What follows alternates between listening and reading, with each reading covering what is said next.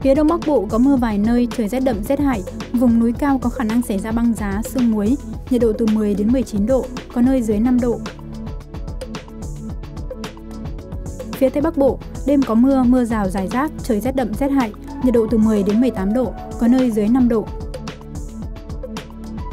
Các tỉnh từ Thanh Hóa đến Thừa Thiên Huế, phía Bắc có mưa vài nơi, phía Nam có mưa vừa, mưa to, có nơi mưa rất to và rông, tập trung ở Quảng Trị đến Thừa Thiên Huế. Trời rét, riêng phía Bắc trời rét đậm, nhiệt độ từ 14 đến 20 độ.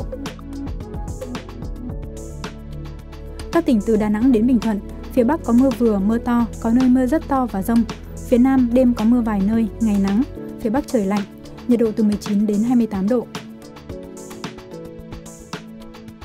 Khu vực Tây Nguyên, đêm có mưa vài nơi, ngày nắng, nhiệt độ từ 14 đến 28 độ. Khu vực Nam Bộ, đêm không mưa, ngày nắng, sáng và đêm trời lạnh, nhiệt độ từ 20 đến 32 độ, miền Đông có nơi dưới 20 độ.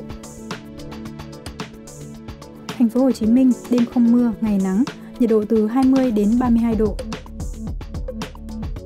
Thủ đô Hà Nội không mưa, trời rét đậm, nhiệt độ từ 11 đến 18 độ.